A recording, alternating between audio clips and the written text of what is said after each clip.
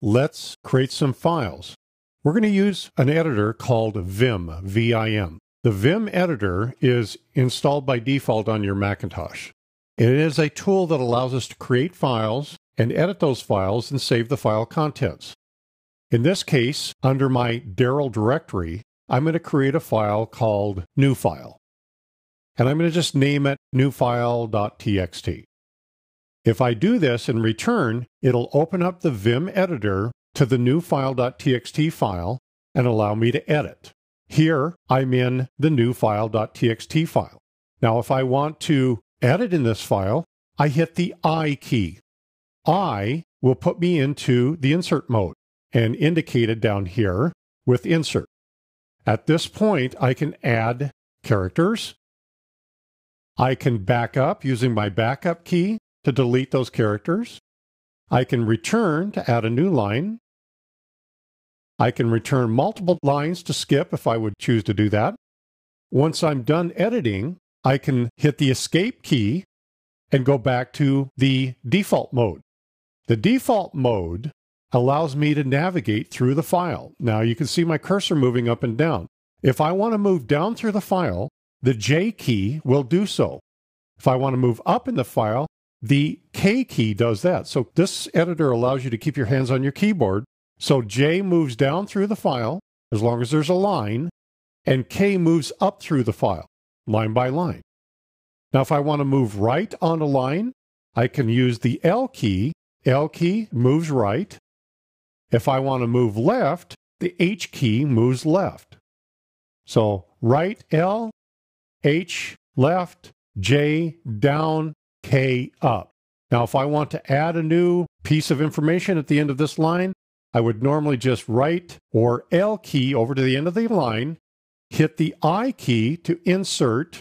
Now, notice I'm sitting right on the E, so I would use the right arrow to line over, and then maybe the space to add additional information. And again, once I'm done editing at this point, I would hit the escape to go back to the default mode instead of insert. And if I want to save this information, I can hit the shift key and type a colon. Shift colon and then W will write the file.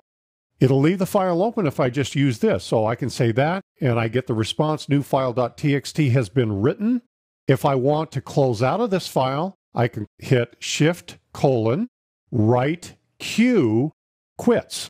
It writes the file and quits the file, and I'm back at my prompt. And if I list this directory now, now by the way, I'm using A, so that allows me to see the dot and dot dot at the top of this directory listing. Sometimes I use LHA and sometimes I just use LH. It's just a habit.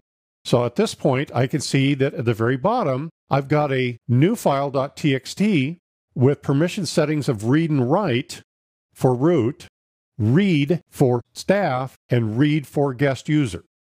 Now, if I want to change certain permission settings on this new file, I would do chmod.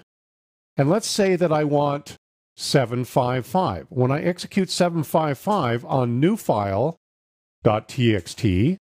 return and list the directory again, I can see now that newfile.txt has read, write, execute for the root user, which I happen to be at this point.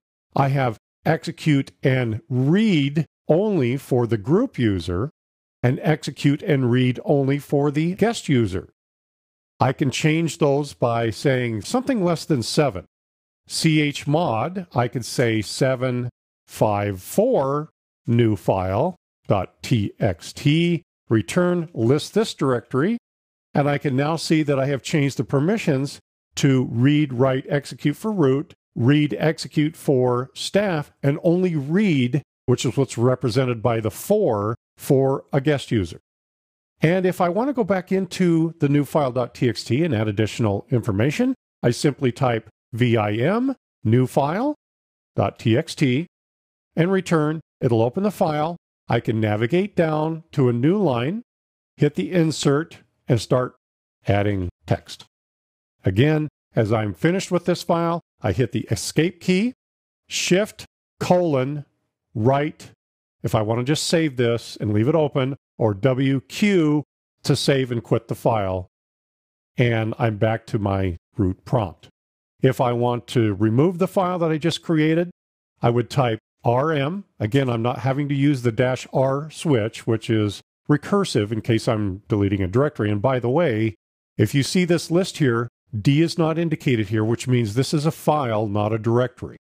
So if I'm going to remove that file, rm space the name of the file, and it'll remove this file as soon as I execute. Now, another nice little feature, just for your own point of reference, is that I can actually use wildcards.